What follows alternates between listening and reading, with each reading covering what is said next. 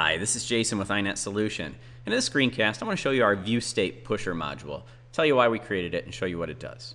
What we're looking at here is a typical product detail page on an ASP.NET e-commerce website. You can see here that we have a lot of quantity input fields on this page, and those are actually our only input fields. Now if we switch over and view the source on this, we can see that appearing above most of the actual product content that we would want Google and other search engines to index and pick up, we have an enormous amount of view state data. Many SEO experts have come to us when we're working with them to optimize e-commerce sites and asked us if there's anything we can do to eliminate this. And there are certain choices that you can have when setting up your view state. Um, but in this typical scenario, we wanted to see if there was a way that we could move view state below all of the content that we would want indexed, such as part numbers, prices, etc.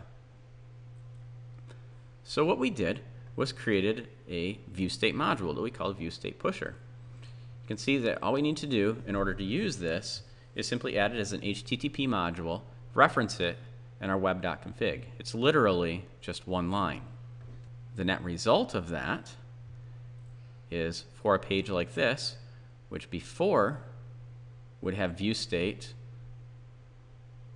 immediately beneath the opening form tag now will appear all the way at the bottom, right before the closing form tag. So from a search optimization standpoint, we've moved all of our important content higher within the rendered HTML on the page.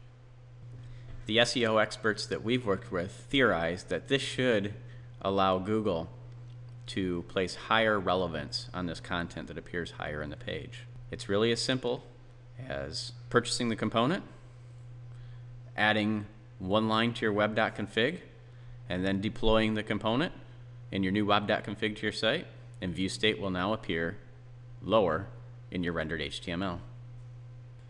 So there you have it. We hope you'll try it out. I appreciate you watching this screencast, and as always, we encourage your feedback and tell us if there's any way that we can make this better. Thank you.